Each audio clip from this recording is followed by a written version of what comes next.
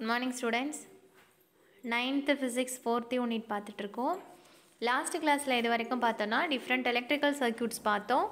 Series circuits parallel circuits இப்போ நம்ம இந்த கிளாஸில் என்ன பார்க்க போகிறோன்னா எஃபெக்ட்ஸ் ஆஃப் எலக்ட்ரிக் கரண்ட்டை பார்க்கலாம். அதாவது மின்னோட்டம் பாயும் பொழுது ஏற்படக்கூடிய விளைவுகள் என்ன அப்படின்னு சொல்லிட்டு நம்ம இந்த கிளாஸில் பார்க்கலாம். என்னென்ன எஃபெக்ட்ஸ் வரும் அப்படின்னு பார்த்தீங்கன்னா கரண்ட்டு பாஸ் ஆகும் பொழுது heating effect chemical effect magnetic effect சரிங்களா? ஹீட்டிங் எஃபெக்ட் அப்படின்னா தமிழில் சொல்லணுன்னா வெப்ப விளைவு மின்னோட்டத்தின் வெப்ப விளைவு வேதி விளைவு காந்த விளைவு. எப்படி ஏற்படுது அப்படின்னு பார்க்கலாம்.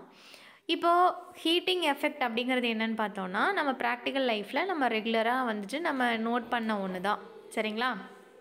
என்ன அப்படின்னா இப்போ கரண்ட்டு பாஸ் ஆகும் பொழுது ஹீட் ப்ரொடியூஸ் ஆகுது அப்படிங்கிறது வந்து நம்ம ரெகுலர் ரெகுலரான லைஃப்பில் வந்துட்டு நம்ம ஃபீல் பண்ண ஒன்று தான் என்ன அப்படின்னு பார்த்தீங்கன்னா லைட் எரியும் பொழுது இல்லை கிரைண்டர் ஓடும் பொழுது இல்லை ஃபேன் ஓடும் பொழுது பார்த்தோம் அப்படின்னா நமக்கு ஹீட்டு ப்ரொடியூஸ் ஆகும் இல்லையா?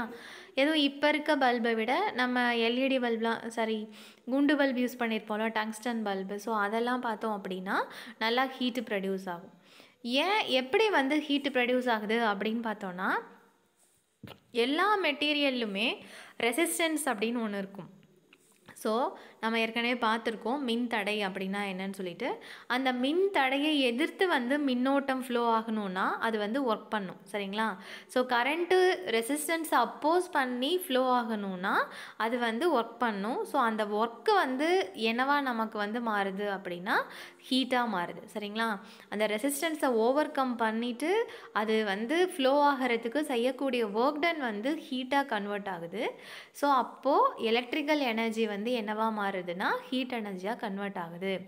இந்த conversion of electrical energy into heat energy தான் என்ன சொல்கிறாங்கன்னா ஜூல் ஹீட்டிங் அப்படின்னு சொல்கிறாங்க ஜூல் ஹீட்டிங் ஏன் வந்து ஜூல் ஹீட்டிங் அப்படின்னு சொல்கிறாங்க அப்படின்னு பார்த்தோன்னா ஜேம்ஸ் பிரஸ்கார் ஜூல் அப்படிங்கிற சயின்டிஸ்ட் வந்துட்டு இதை எக்ஸ்பிளைன் பண்ணதுனால கரண்ட்டுக்கும் ஹீட்டுக்குமான ரிலேஷன் எக்ஸ்பிளைன் பண்ணதுனால நம்ம இதை வந்து ஜூல் ஹீட்டிங் அப்படின்னு நம்ம சொல்கிறோம் இதில் எல்லா டிவைசஸ்லேயுமே நமக்கு வந்து ஹீட் அப்படிங்கிறது தேவையில்லை.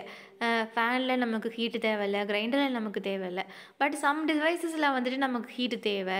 என்னென்ன டிவைசஸ் அப்படின்னு பார்த்தீங்கன்னா iron box water heater toaster oven இதிலெல்லாம் நமக்கு வந்து எலக்ட்ரிக்கல் எனர்ஜி ஹீட் எனர்ஜியாக கன்வெர்ட் ஆகுது. ஸோ அப்போ இந்த டிவைசஸ்லாம் எந்த பிரின்சிபலை பேஸ் பண்ணி ஒர்க் ஆகுது அப்படின்னு பார்த்தீங்கன்னா ஜூல்ஸ் ஹீட்டிங் சரிங்களா? ஜூல்ஸ் ஆஃப் ஹீட்டிங் அல்லது heating effect of electric current இப்போ நம்ம எல்லா எலக்ட்ரிக்கல் அப்ளையன்சஸ்லேயும் நம்ம கனெக்டிங் ஒயர்ஸ் இருக்கும் இல்லையா?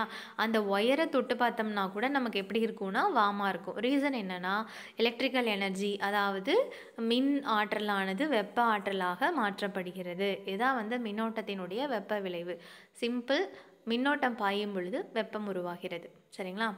இப்போ அதுக்கான ஒரு ஆக்டிவிட்டியாக உங்களுக்கு வந்து சொல்லியிருக்காங்க. என்ன அப்படின்னு பார்த்தோன்னா ஒரு அலுமினியம் எடுத்துக்கிறாங்க. அதை வந்து ஒரு ஏரோ மார்க் மாதிரி கட் பண்ணி உடன் போர்டு மேலே வச்சிடுறாங்க.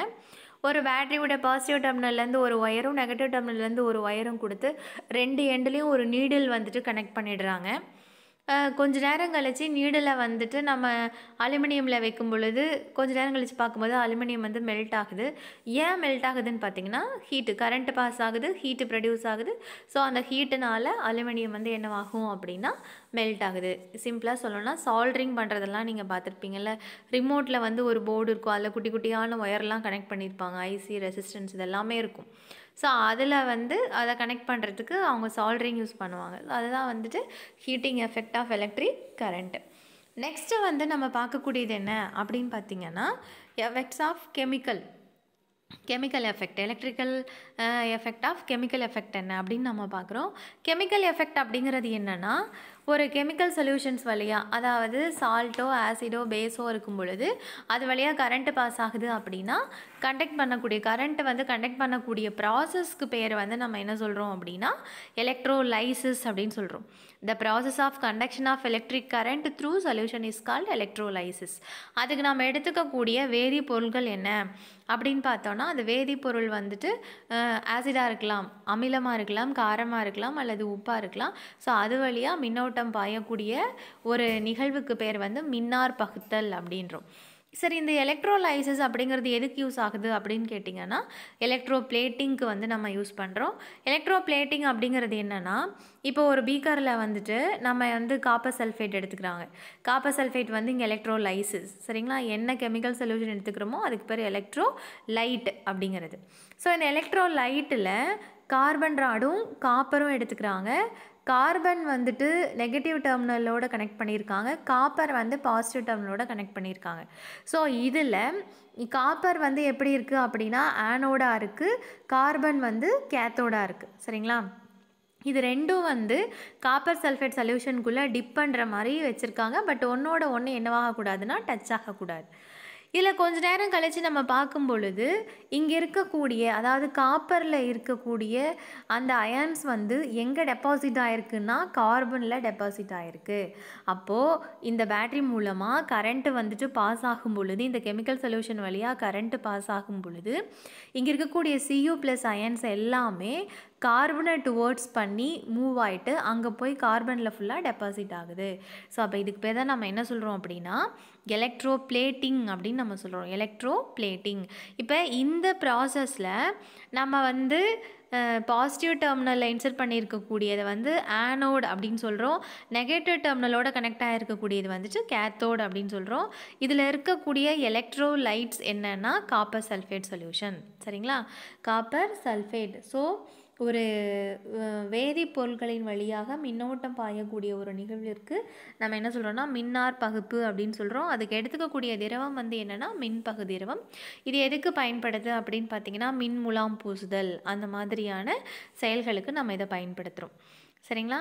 ஈவன் நம்ம பாடி கூட வந்துட்டு ஒரு வீக்கான எலக்ட்ரிக் கரண்ட்டை பாஸ் பண்ணி சினாப்டிக் சிக்னல்ஸாக மாற்றி பிரெயினுக்கும் நம்முடைய ஆர்கன்ஸ்க்கும் நர்வ்ஸ்க்கும் ட்ராவல் பண்ணக்கூடியது வந்து இந்த சிக்னல்ஸ் தான் வந்து ட்ராவல் பண்ணுது அப்படின்னு நம்ம சொல்கிறாங்க இதான் வந்து கெமிக்கல் எஃபெக்ட்டு நெக்ஸ்ட்டு நம்ம பார்க்கக்கூடியது வந்து magnetic effect of electricity magnetic effect அப்படின்னா காந்த விளைவு.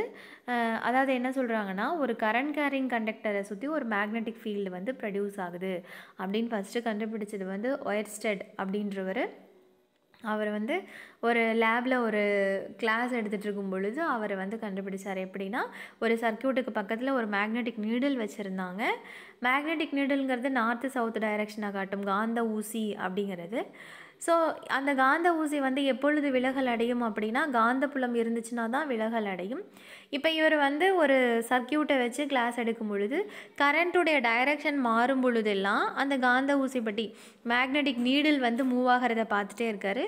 ஸோ அதை வச்சு ரிசர்ச் பண்ணும் பொழுது என்ன தெரியுது அப்படின்னா ஒரு கரண்ட் பாசிங் கண்டக்டர் வந்து மேக்னெட்டிக் ஃபீல்டை ப்ரொடியூஸ் பண்ணுது. அந்த மேக்னெட்டிக் ஃபீல்டு வந்து கரண்ட் பாசிங் கண்டக்டருக்கு பர்பண்டிகுலர் டைரக்ஷனில் இருக்குது அப்படின்னு சொல்லி கண்டுபிடிக்கிறாரு. அதனுடைய டைரக்ஷனை தெரிஞ்சுக்கிறதுக்காக நம்ம ஃப்ளெமிங்ஸோட ரைட் ஹேண்ட் ரூல் அப்படின்னு நம்ம அதை யூஸ் பண்ணுவோம். அதை நெக்ஸ்ட் கிளாஸில் நம்ம டீட்டெயிலாக பார்க்கலாம். ஸோ இப்போ நம்ம தெரிஞ்சுக்க வேண்டியது ஒரு கரண்ட் பாசிங் கண்டக்டர் மேக்னெட்டிக் ஃபீல்டை ப்ரொடியூஸ் பண்ணும். சரிங்களா? மின்னோட்டம் தாங்கிய கடத்தியானது அதனை சுற்றி ஒரு காந்தப்புலத்தை உருவாக்கும் அப்படிங்கிறது தான் சரிங்களா? ஸோ இப்போ நம்ம வந்துட்டு எஃபெக்ட்ஸ் ஆஃப் எலக்ட்ரிக் கரண்ட்டில் த்ரீ எஃபெக்ட்ஸ் பார்த்தோம். Heating effect chemical effect magnetic effect. சரியா?